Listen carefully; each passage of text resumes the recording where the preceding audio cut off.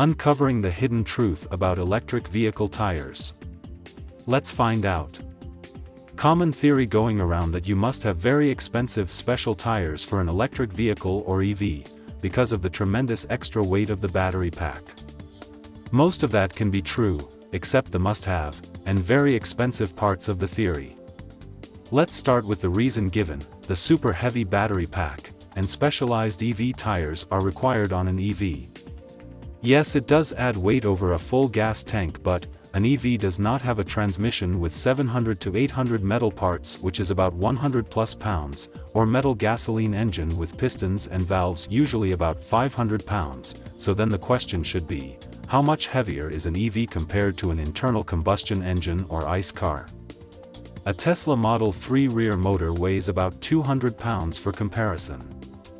Let's take a look at some equivalent ICE and EVs. A BMW 330i has a curb weight listed as 3,582 pounds versus a Tesla Model 3 with a curb weight of 3,648 pounds, that is a 66 pound difference.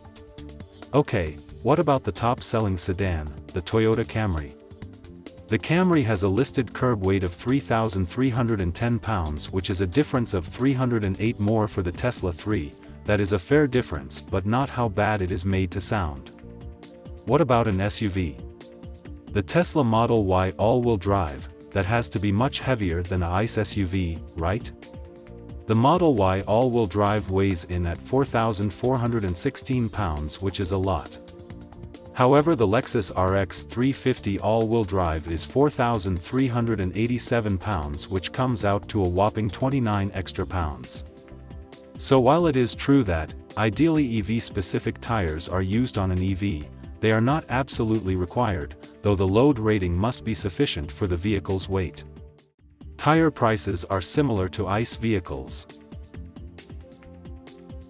Please like, subscribe, comment and share. If you have any questions, feel free to leave them in the comments below. Thanks for watching.